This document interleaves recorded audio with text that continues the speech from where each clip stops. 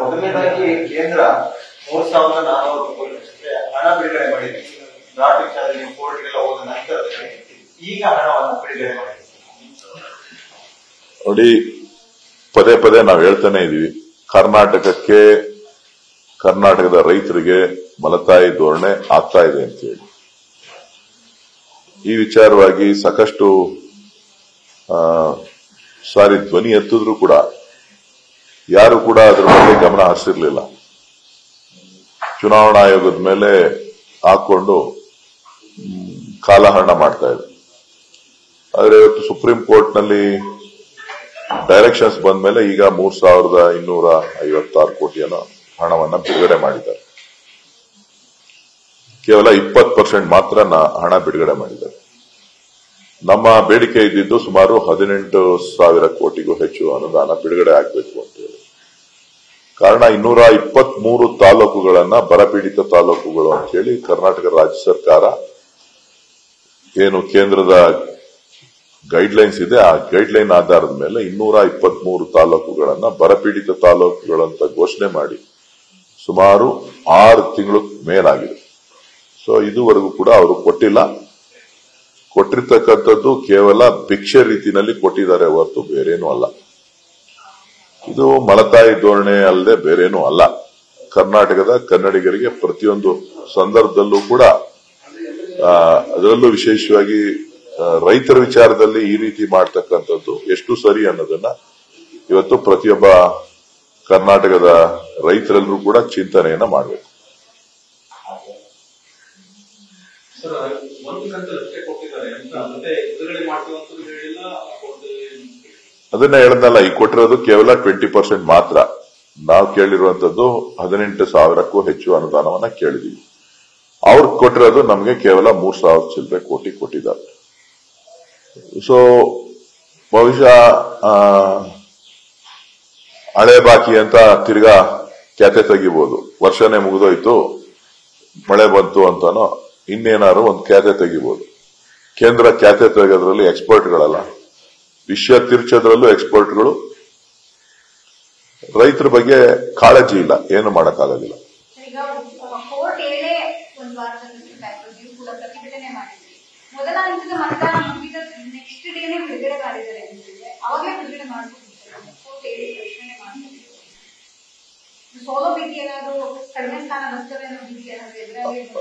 ಉತ್ತರ ಉತ್ತರ ಕರ್ನಾಟಕದಲ್ಲಿ ಸ್ವಲ್ಪ ಹೆಚ್ಚು ರೈತಾಪಿ ಸಂಖ್ಯೆ ಜಾಸ್ತಿ ಇದೆ.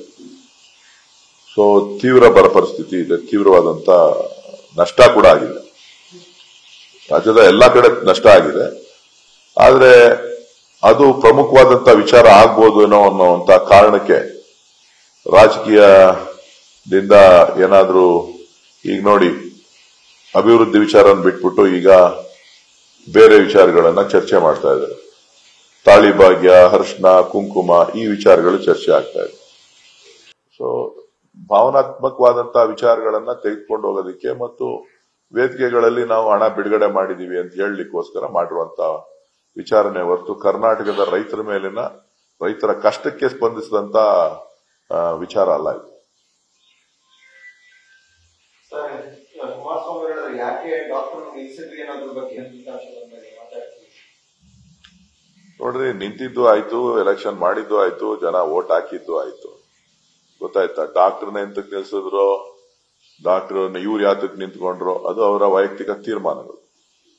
ಡಾಕ್ಟರ್ದು ಅಷ್ಟೇನೇನೆ ಪಕ್ಷದ್ದು ಅಷ್ಟೇನೆ ಯಾರು ನಿಲ್ಬಾರ್ದು, ಪ್ರಜಾಪ್ರಭುತ್ವ ವ್ಯವಸ್ಥೆನಲ್ಲಿ ಯಾರು ನಿಲ್ಬಾರ್ದು ಅಂತ ಹೇಳಲಿಕ್ಕೆ ಆಗೋದಿಲ್ಲ. ಅದು ಅವರವರ ವೈಯಕ್ತಿಕ ಅಭಿಪ್ರಾಯಗಳು. ನಾನು ಮಾಧ್ಯಮಗಳೇ ತಮ್ಮ ಮುಖಾಂತರ ಕ್ಷೇತ್ರದ ಎಲ್ಲ ಮತದಾರರಿಗೆ. ಇವತ್ತು ಬಹಳ ಶಾಂತಿಯುತವಾಗಿ ಚುನಾವಣೆಯನ್ನು ನಡೆಸಿದ್ದಾರೆ. ಜೊತೆಗೆ ಸಾಕಷ್ಟು ಆರೋಪಗಳು ಚುನಾವಣೆ ಫೇರ್ ಆಗಿ ನಡೆಯೋದಿಲ್ಲ, ಹಂಗಾಗುತ್ತೆ, ಹಿಂಗಾಗುತ್ತೆ, ಇದನ್ನ ಪ್ಯಾರಾಮಿಲಿಟರಿ ಫೋರ್ಸ್ ಬರಬೇಕು, ಅದು ಬರಬೇಕು ಅಂತಕ್ಕಂಥ ಅನೇಕ ಭಯದ ವಾತಾವರಣವನ್ನ ಸೃಷ್ಟಿ ಮಾಡುವಂತ ಪ್ರಯತ್ನಗಳನ್ನ ಮಾಜಿ ಪ್ರಧಾನಮಂತ್ರಿಗಳ ಆದಿಯಾಗಿ ಎಲ್ಲರೂ ಕೂಡ ಮಾಡಿದ್ರು. ಅನೇಕ ಬಾರಿ ಪ್ರೆಸ್ ಮೀಟ್ಗಳನ್ನು ಮಾಡಿದ್ರು ಕಂಪ್ಲೇಂಟ್ಸ್ಗಳನ್ನು ದೂರುಗಳನ್ನು, ಪ್ರತಿನಿತ್ಯ ದೂರುಗಳನ್ನು ಬರಿತಾನೆ ಇದ್ರು. ಆದ್ರೆ ಇವತ್ತು ಎಲ್ಲವೂ ಕೂಡ ಕ್ಲಿಯರ್ ಆಗಿ ಯಾವುದೇ ಒಂದು ಸಮಸ್ಯೆ ಇದೆ ಯಾವುದೇ ಮತಗಟ್ಟೆನಲ್ಲೂ ಕೂಡ ಯಾವುದೇ ರೀತಿಯ ಸಮಸ್ಯೆ. ಹಂಗ ನೋಡೋದಾದ್ರೆ ಅವರೇ ಒಂದಷ್ಟು ಕಡೆ ಗಲಾಟೆಗಳನ್ನ ಮಾಡಿದ್ದಾರೆ. ಅವ್ರ ಕಾರ್ಯಕರ್ತರುಗಳೇ ಗಲಾಟೆ ಮಾಡಿ, ಹಲ್ಲೆ ಮಾಡಿ, ಒಂದಷ್ಟು ಪ್ರಕರಣಗಳಾಗಿದೆ. ಆದ್ರೆ ಚುನಾವಣೆಯಲ್ಲಿ ಸಣ್ಣ ಪುಟ್ಟ ಗಲಾಟೆಗಳು ನಡೆಯುವಂತದ್ದನ್ನ ನಾನು ದೊಡ್ಡದು ಮಾಡಕ್ ಹೋಗಲ್ಲ. ಅವ್ರಿಗೆ ಅದಕ್ಕೆ ರಾಜಕೀಯದ ಬಣ್ಣ ಕಟ್ಟೋದ್ರಲ್ಲಿ ದೇವೇಗೌಡರ ಕುಟುಂಬ ಬಹಳ ನೈಪುಣ್ಯತೆಯನ್ನ ಪಡೆದಿದ್ದಾರೆ. ಸೊ ಹಾಗಾಗಿ ನಾನು ಅದ್ರ ಬಗ್ಗೆ ಮಾತನಾಡ್ಲಿಕ್ಕೆ ಹೋಗೋದು. ಇನ್ನೇನ್ ಬೇಕು ಹೇಳಿ?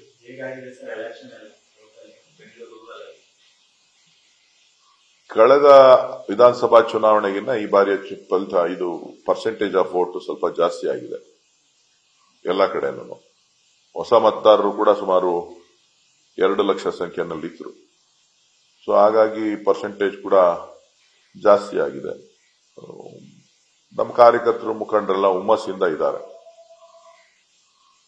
ಒಳ್ಳೆ ಕೆಲಸ ಮಾಡಿದೀವಿ, ಗೆದ್ದೆ ಗೆಲ್ತೀವಿ ಅಂತಕ್ಕಂಥ ವಿಶ್ವಾಸನ ವ್ಯಕ್ತಪಡಿಸಿದ್ದಾರೆ. ನನಗೂ ಕೂಡ ಆತ್ಮವಿಶ್ವಾಸ ಇದೆ. ನಾನು ಗೆಲ್ತೇನೆ ಅಂತ. ನಿಮಗೆ ಈ ವಿಧಾನಸಭಾ ಕ್ಷೇತ್ರದವರು ಬಂದಿರುವಂತಹ ಪರ್ಸೆಂಟೇಜ್ ಆಫ್ ವೋಟ್ ನೋಡಿ ನಿಮ್ಮ ಆತ್ಮವಿಶ್ವಾಸ ಜಾಸ್ತಿ ಆಗಿದೆ. ವಿಧಾನಸಭಾ ಕ್ಷೇತ್ರವಾರು ಅಂತಲ್ಲ ಒಟ್ಟಾರೆ ಕಾರ್ಯಕರ್ತರುಗಳು ಬೂತ್ಗಳಲ್ಲಿ ಕೆಲಸ ಮಾಡಿರುವಂತದ್ದು ಮತದಾನದ ಟರ್ನ್ಔಟ್ ಯಾವ್ಯಾವ ಭಾಗದಲ್ಲಿ ಯಾವ ರೀತಿ ಆಗಿದೆ ಅಂತಕ್ಕಂಥದ್ದು. ಇದು ಒಂದು ಕಡೆ. ಇನ್ನೊಂದು ಕಡೆ ಪಕ್ಷದ ಲೆಕ್ಕಾಚಾರಗಳು. ಗ್ಯಾರಂಟಿ ಎಷ್ಟರ ಮಟ್ಟಿಗೆ ಕೈ ಹಿಡಿದಿದೆ, ಕೈ ಹಿಡಿತದೆ ಅನ್ನೋದನ್ನು ಕೂಡ ಈ ಬಾರಿ ನಾವು ಗಮನ ಹರಿಸಬೇಕಾಗ್ತದೆ. ನೀವೇ ಹೇಳಬೇಕು, ಸರ್ವೆ ಮಾಡಿರ್ತೀರಾ? ನೀವೇ ಪೋಲ್ ಎಲ್ಲ ಬಂದಿರ್ತದೆ, ನಿಮ್ಮ ಹತ್ರ. ನೀವು ಯಾವ ಪೋಲ್ ಅದನ್ನ ಅನೌನ್ಸ್ ಮಾಡೋದು? ಆದ್ಮೇಲ? ಆದ್ರೂ ಇಷ್ಟೊತ್ತಿಗೆಲ್ಲ ಗೊತ್ತಿರ್ತದೆ ನಿಮ್ಗೆಲ್ಲ ಮಾಡಿ ಇಟ್ಕೊಂಡಿರ್ತೀರ? ಓಪನ್ ಆಗಿ ಡಿಸ್ಕ್ಲೋಸ್ ಮಾಡಲ್ಲ. ಓಪನ್ ಆಗಿ ಮಾಡಬೇಡಿ, ಹಂಗೆ ಮಾಡಿ.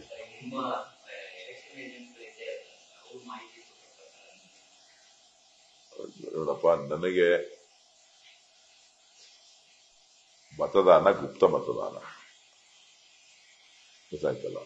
ನಮ್ಮ ಕಾರ್ಯಕರ್ತರುಗಳು ಹುಮ್ಮಸ್ಸಿಂದ ಇದ್ದಾರೆ. ಕಳೆದ ವಿಧಾನಸಭಾ ಚುನಾವಣೆಗಿನ್ನ ಹೆಚ್ಚಿನ ರೀತಿಯಲ್ಲಿ ಕೆಲಸ ಮಾಡಿದ್ದಾರೆ. ಜೊತೆಗೆ ಜನ ಕೂಡ ಸ್ಪಂದಿಸಿದ್ದಾರೆ ಅಂತಕ್ಕಂಥ ವಿಚಾರವನ್ನ ಹೇಳ್ತಾರೆ. ನಾನು ಒಟ್ಟು ಕೇಳಿದ್ರು ನಾನು ಓಟ್ ಹಾಕ್ತೀನಿ ಅಂತಾರೆ.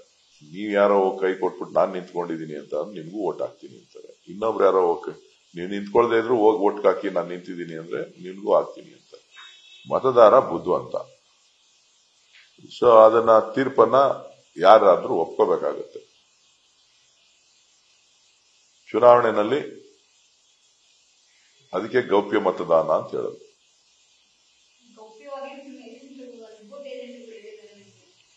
ನಾನು ಹೇಳಿದ್ನಲ್ಲ ಸಂಪೂರ್ಣವಾದಂತಹ ವಿಶ್ವಾಸ ಇದೆ ರೀ. ನನಗೆ ಕಳೆದ ವಿಧಾನಸಭಾ ಚುನಾವಣೆಗಿನ್ನ ಒಳ್ಳೆಯ ಫಲಿತಾಂಶ ನಿರೀಕ್ಷೆನಲ್ಲಿ ನಾನಿದ್ದೇನೆ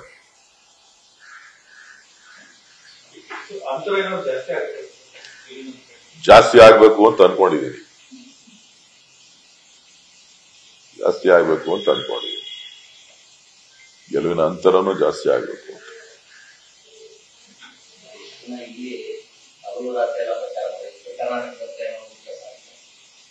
ಈಗ ಅಧ್ಯಕ್ಷನ ಭೇಟಿ ಮಾಡಬೇಕು. ಎಲ್ಲಿ ಕಳಿಸ್ತಾರೋ ಗೊತ್ತಿಲ್ಲ. ಅಧ್ಯಕ್ಷರೆಲ್ಲ ಹೋಗಿದಾರಂತೆ. ನಾನು ಎದ್ದಿದ್ದು ಲೇಟ್ ಆಯ್ತು. ಥ್ಯಾಂಕ್ ಯು ನ್ಯೂಸ್ ಫಸ್ಟ್ ನಿರ್ಭೀತಿಯಿಂದ ನಿಮ್ಮ ಪರವಾಗಿ.